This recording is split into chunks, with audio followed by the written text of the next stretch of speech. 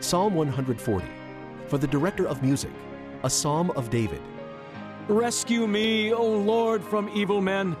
Protect me from men of violence, who devise evil plans in their hearts and stir up war every day. They make their tongues as sharp as a serpent's. The poison of vipers is on their lips. Selah.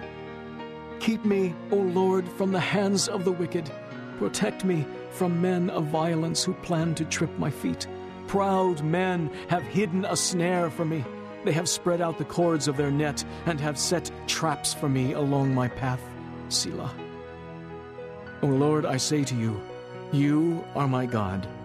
Hear, O Lord, my cry for mercy. O sovereign Lord, my strong deliverer, who shields my head in the day of battle, do not grant the wicked their desires, O Lord.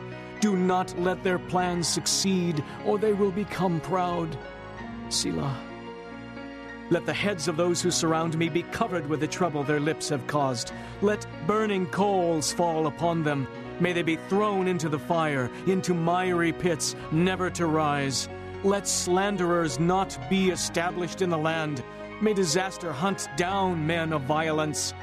I know that the Lord secures justice for the poor and upholds the cause of the needy. Surely the righteous will praise your name and the upright will live before you.